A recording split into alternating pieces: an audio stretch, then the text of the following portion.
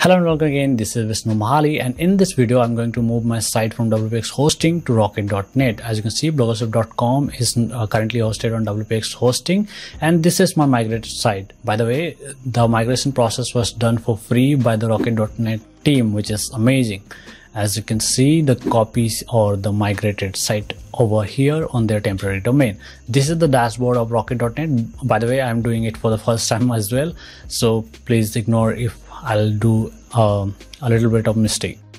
Mm, so here you can create your staging and this is the button I'll need to click I guess ready to go live. Okay now I'll uh, enter my domain and click continue.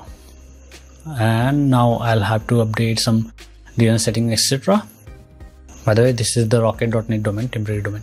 Okay so first I'll have to configure SSL by modifying some DNS settings over here uh, these are the de details that I'll have to put in my DNS settings. So let's go to Namecheap as my domain uh, is listed on Namecheap. I bought it from here. So I'll go to my dashboard over here. Let's find my domain. Okay, as you can see, it is currently pointing to the name servers of WPX hosting.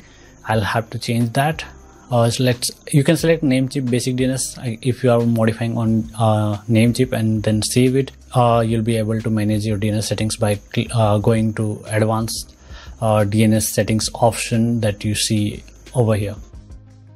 So once your setting is saved namecheap basic dns as namecheap basic dns go to advanced dns option here and then you'll be able to add dns records over here.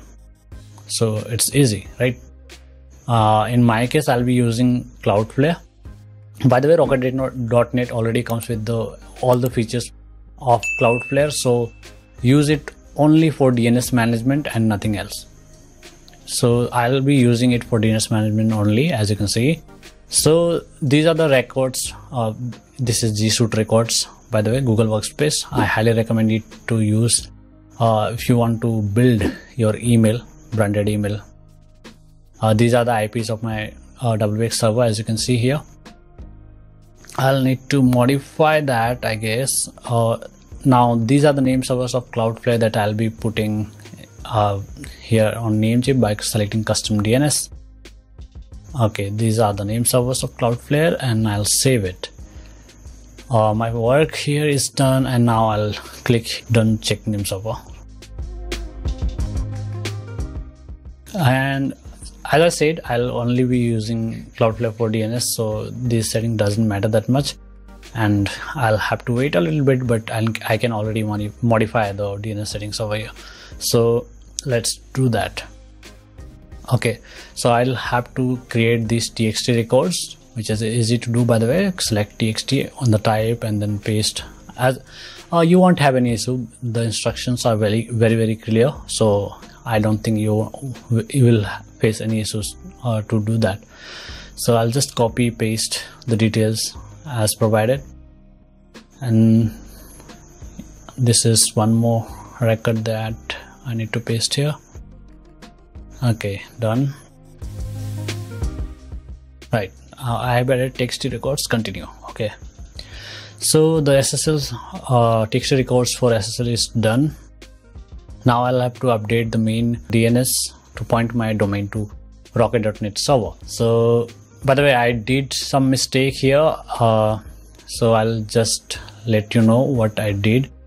Uh, as you can see it says that you'll have to put apex record but uh, on cloudflare it, it, you you won't find something called apex record uh, if you use the drop down type basically. So you'll have to add as add it as a cname but before that you need to uh, delete all the a uh, a record and cname records so I didn't do that and that's why this issue is occurring. So first of all delete your A record and CNAME record if you have and then you can uh, select CNAME and then paste your rocket.net temporary domain here and then it will work just fine. Let me show you and now this time I think I'll be doing the right way. Okay this is my A record that I'll have to delete. Okay I'm deleting this record as I said and now it will work fine as you can see. Let's save it and it should work. And as you can see i'm only using it for dns cloudflare. By the way this is because uh, cloud on cloudflare it's called cname flattening not apex record. So that was the issue. That's why I, I was having some issues. It's called cname flattening on cloudflare. It's not apex. So okay done and i have updated. As you can see dns has been successfully configured and your site is now live. By the way the live site will be uh, available once the name servers are and dns settings are uh, configured on all the internet and stuff. So it takes a little bit of time but it will be done currently i don't think it, it will be loading from rocket.net immediately but it will happen soon. I've done my part of the work. So it's done and this is the interface by the way. I'll make some more videos about rocket.net soon and stick to this channel for that. Please subscribe so that you don't miss those videos. Currently it has very few options and features over here but i think over time it will grow and by the way i'm happy with all the settings it already has because i don't do much uh, on my hosting service. So it's okay for me. I don't have any issues. And uh, oh, by the way rocket.net doesn't provide you email services if you didn't know that. So yeah this is the performance from my uh, WPX hosting this is not the rocket.net version. As you can see rocket.net i had it tested. It, it's uh, very very good. I'll show you that in some other video someday. For now subscribe to the channel and thank you so much for watching. And don't forget to like please. Thank you so much